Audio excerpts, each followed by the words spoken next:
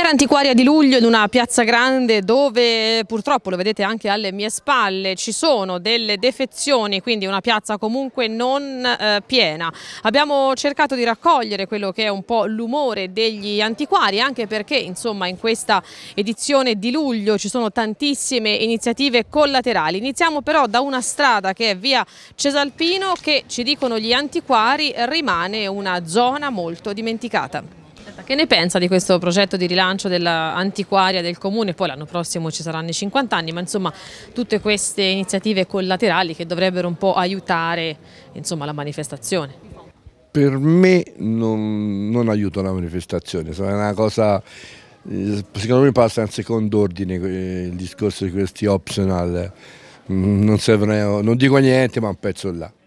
Questa strada qui che è un po' disastrata, che per noi qui è sempre così, non cambia poco.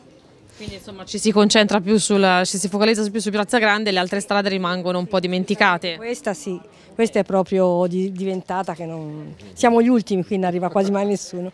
Per niente bene. ma perché c'è un pubblico che secondo me non, non risponde bene alla, alle vendite, cioè poche richieste, quindi poco interesse. Sicuramente un gente che non è, non, secondo me come espositore sono tanti anni che faccio questo lavoro, non viene qui espressamente per il mercato ma nel contesto.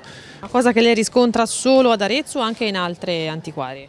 No, diciamo che più che altro Arezzo eh, è fra tante fiere forse non è la peggiore come quantità di persone che arrivano e via dicendo, però Devo dire che qui qualità e prezzo credo Arezzo sia una delle migliori insieme a Lucca, faccio per dire, però altri mercati sono nettamente inferiori. Speriamo che ora con uh, il Saracino di settembre che si pone tutto in un'altra condizione diciamo uh, logistica uh, vada meglio.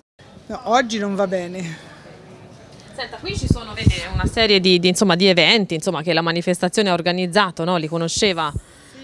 Io penso che la, la, oggi fanno due cose, dovrebbero farne una per volta. Troppi eventi tutti insieme? E qualche domenica niente. Come va questa antiquaria di luglio? Oh, eh, Dovrebbe essere gratis questa antiquaria di luglio, come siamo, tutte le antiquarie. Siamo fra l'uscio e il muro. Eh, no, ma veramente andrebbe, andrebbe fatta gratis. No. in modo che la gente venga un po' di più a, a portare no, roba. Tanto, ascolta, un c'entra il gratis. Io sono il più vecchio della Piera d'Arezzo, sono il più vecchio. L'ho fatte tutte, sono 500, 600, l'ho fatte tutte. Dalla prima, un anno il vecchio, non c'è più la stoffa nell'Italia, i soldi, il sistema. No, i soldi ci sono, loro spendono 500 euro per prendere un telefonino che dura un anno è un oggetto d'arte che dura una vita, non lo vogliono. I mobili c'è un magazzino più al topo piano, non, si vende niente, vanno a pigliare all'Eritrea, all'Eritrea, verniciati, a me non mi cabbano. Ho venduto due tavoli rustici oggi, ma... Quello lì era bellissimo. Eh? L'ho venduto. Quanto l'hai venduto? Ma l'ho venduto per poco, se non te le capita le mani. Quanto l'hai venduto? Eh, Insomma, bisogna svendere. Con quell'altro. Bisogna svendere. Ma quello lì era... era bisogna svendere, dico. Bisogna smettere. E il mobilio gliele giuro io. Il mobilio non lo vogliono nemmeno per regalo. Sì, ma a Ikea lo prendono. Eh? A Ikea lo prendono. Senta, ma ha visto che oggi c'è il raduno, ha visto che oggi c'è il raduno dei dendi? Lei sa cosa sono i dendi? Eh? Eh, a me ne penso bene. A me mi capita più che gente qui che quelli moderni di ora.